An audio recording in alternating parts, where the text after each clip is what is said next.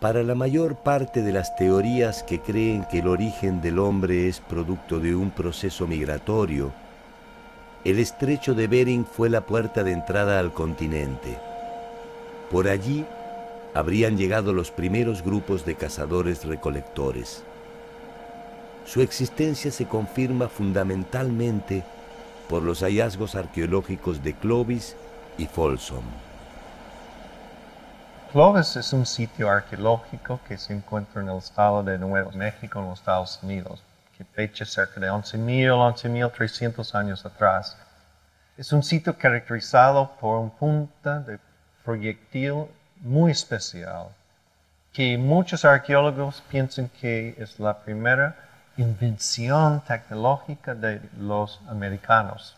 Y este punta proyectil está asociado con los huesos de un mamut. Y allí empezó la primera teoría de poblamiento de América. Y cuando se establece una teoría como así, todos los sitios arqueológicos encontrados después son comparados a este sitio y a este modelo.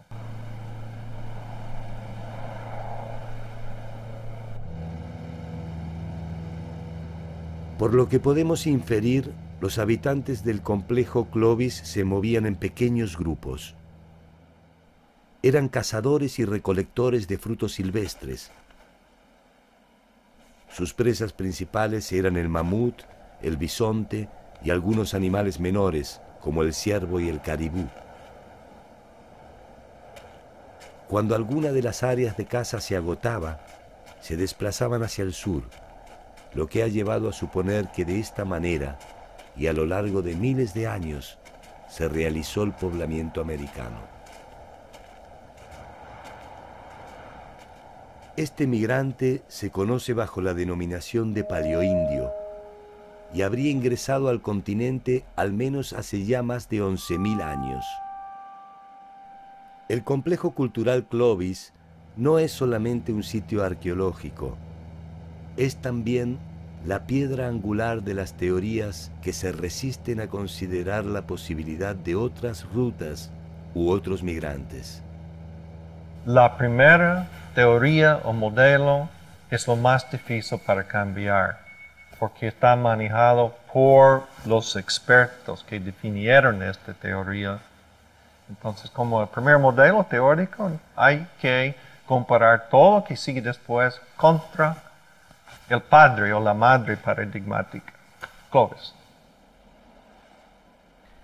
Para Clovis, el paleoindio fue el protagonista excluyente de este proceso migratorio, originado en el norte de América y que se fue extendiendo hacia el sur continental.